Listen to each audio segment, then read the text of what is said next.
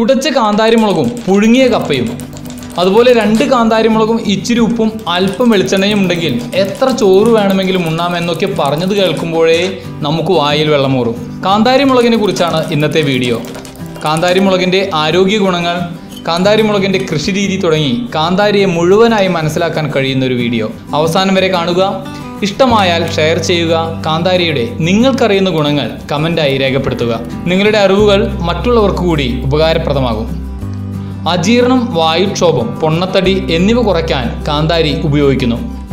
പ്രമേഹം കൊളസ്ട്രോൾ തുടങ്ങിയ ജീവിതശൈലി രോഗങ്ങളെ നിയന്ത്രിക്കാൻ കാന്താരിക്കുള്ള കഴിവ് കണ്ടെത്തിയതോടെയാണ് ഇതിന്റെ വിലയും ഡിമാൻഡും കൂടി തുടങ്ങിയത്. അഞ്ഞൂറ് രൂപ മുതൽ ആയിരം രൂപ വരെ ഒരു കിലോ കാന്താരി മുളകിന് വിലയെത്തി. വെള്ളക്കാന്താരി പച്ചക്കാന്താരി നീലക്കാന്താരി ഉണ്ടക്കാന്താരി എന്നിങ്ങനെ പല ഇനം കാന്താരിയുണ്ട്. പച്ച നിറമുള്ള ചെറിയ കാന്താരിക്കാണ് എരിവ് കൂടുതൽ.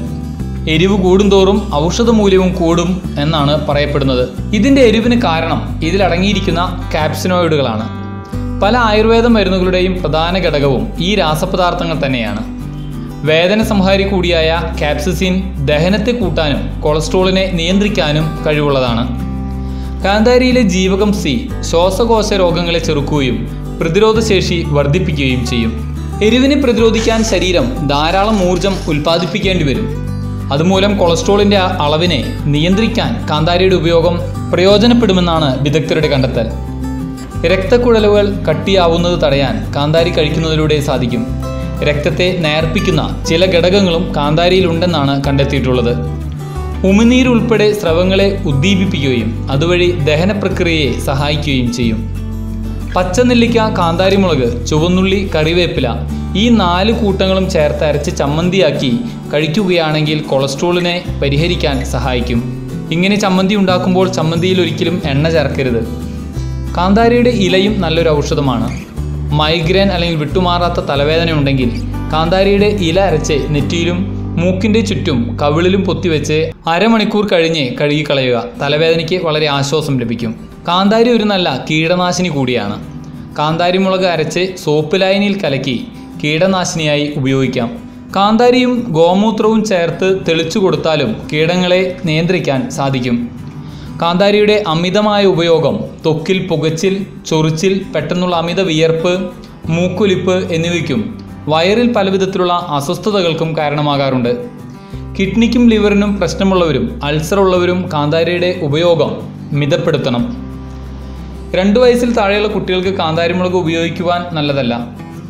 സംഭാരത്തിലും നാരങ്ങ വെള്ളത്തിലും ഒന്നോ രണ്ടോ കാന്താരി ഇട്ട് നമുക്ക് ഉപയോഗിക്കാം. അച്ചാറുകളിലും കറികളിലും ചമ്മന്തികളിലും കാന്താരി ചേർക്കാം. കാന്താരി മുളക് തനിയെ കഴിക്കുന്നതിനേക്കാൾ മറ്റ് ഭക്ഷണങ്ങളിൽ ചേർത്ത് കഴിക്കുന്നതാണ് ഉത്തമം. കാന്താരിയുടെ വില വളരെ ഉയർന്നതോടുകൂടി ഒരുപാട് പേർ ഇത് കൃഷി ചെയ്യാൻ തുടങ്ങിയിട്ടുണ്ട്. കാർഷിക വിളകൾക്ക് പ്രാണിശല്യം ഏൽക്കാതിരിക്കാൻ പഴമക്കാർ കാന്താരി നട്ടുപിടിപ്പിച്ചിരുന്നു. ഇതിന്റെ എരിവേറിയ വാസന കീടങ്ങളെയും പ്രാണികളെയും അകറ്റിയിരുന്നു. നാലോ അഞ്ചോ വർഷം വരെ ഒരു കാന്താരി ചെടി നിലനിൽക്കും. തൈ നടുമ്പോൾ ചാരം കൂടുതൽ ചേർക്കാതെ സൂക്ഷിക്കണം. അതുപോലെ പച്ചച്ചാണകം വെള്ളത്തിൽ ചേർത്ത് കലക്കി ഒഴിക്കുന്നത് മുളക് നന്നായി ഉണ്ടാകാനും ചെടി ആരോഗ്യത്തോടെ വളരാനും സഹായിക്കും. തുമ്പച്ചെടി ശീമക്കൊന്ന എന്നിവയുടെ ഇലകൾ പറിച്ചെടുത്ത് കാന്താരിയുടെ തടത്തിലിട്ട് കൊടുത്താൽ നല്ല പോലെ വിളവ് ലഭിക്കും. ഗ്രോ ബാഗിൽ നട്ട ചെടിയാണെങ്കിൽ കടലപ്പിണ്ണാക്കും പച്ചച്ചാണകവും ചേർത്ത് വളമായി ഉപയോഗിക്കാം.